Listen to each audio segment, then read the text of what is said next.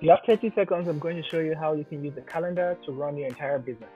Step one, get one of our custom calendars. Step two, connect it to your Google account so data automatically blocked up. Step three, send this calendar to everyone who calls you or who wants your service. You can go in there, select the day, put in their info, and book an appointment. That's it. As a bonus tip one, we can help you attach your Stripe account so people can pay before they book an appointment. And a bonus tip two, you can set up something called a missed call text back. So every single person who calls you and you miss that call gets a link automatically to book an appointment in your calendar. And that's how you run a business with a calendar and a phone.